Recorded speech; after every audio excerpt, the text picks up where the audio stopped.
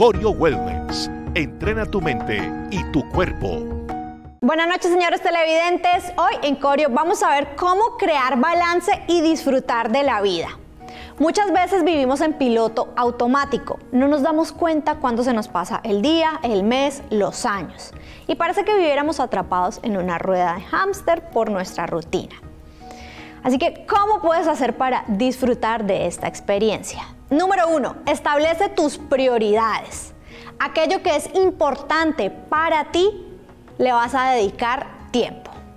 Número dos, evalúa cómo estás en esas áreas que tú definiste como prioridad.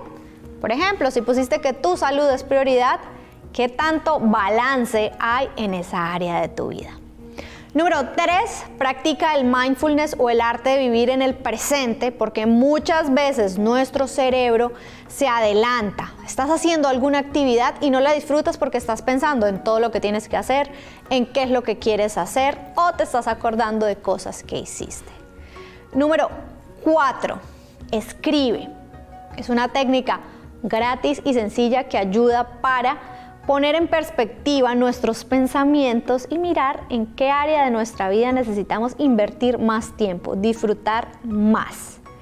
Y por último, la meditación o pasar tiempo a solas o en silencio. Puede que para ti meditar sea orando, corriendo, leyendo o una meditación estática como la que yo practico. Si quieres más consejos sobre el bienestar físico, mental y emocional, los invito a que nos sigan en nuestras redes sociales como Corio Wellness y nos vemos en un próximo programa con más tips para mejorar tu salud.